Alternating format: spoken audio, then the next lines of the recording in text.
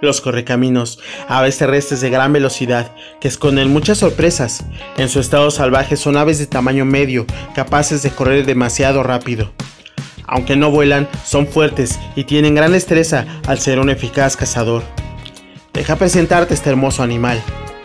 Bienvenido seas a muerte querida.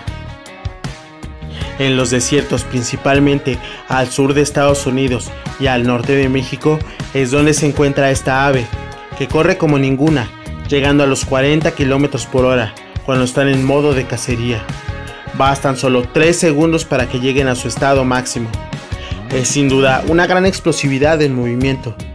Tienen un gran control en la carrera, que logran con su cola grande que sirve de timón, con lo cual dan vueltas muy cerradas a gran velocidad.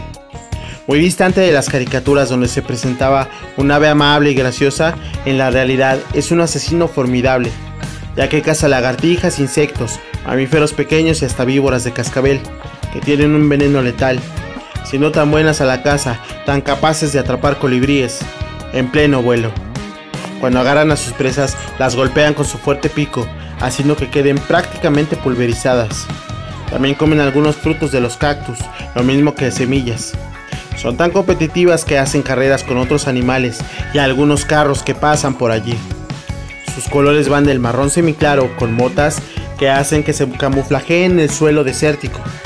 También tienen una vista muy buena, casi comparada con la de las águilas. Se dice que generan un líquido en sus patas, para ser exacto, adrenalina, para salir disparadas a gran velocidad. Llegan a medir 60 centímetros, de lo que la mitad de toda esa medida es la cola. Para el apareamiento, algunos machos persiguen a las hembras en carreras rápidas, lo mismo que bailes de cortejo, y en algunos casos entregan una rama para que la hembra sepa que está siendo pretendida. Suelen en muchas ocasiones quedarse por vida juntos, defendiendo su territorio de otros correcaminos.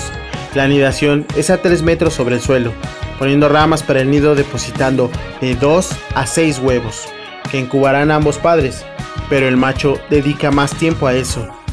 Después del nacimiento de los polluelos, que es aproximadamente de 20 días, son alimentados por ambos padres y en 30 días más están listos para valerse por sí mismos, aunque defienden un nuevo territorio, una vez establecidos y con pareja.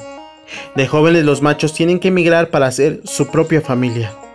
Su estado en vida silvestre no está amenazado, pero con el cambio climático y la urbanización se ha visto en algunos problemas que preocupan su futuro a largo plazo.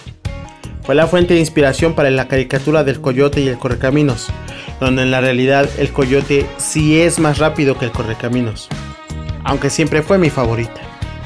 El correcaminos es un emblema de los desiertos, un ave que corre a gran velocidad y que con su bonito peinado engalana esos lugares muy hostiles. Yo soy Jack. Muchas gracias por ver el video. Adiós.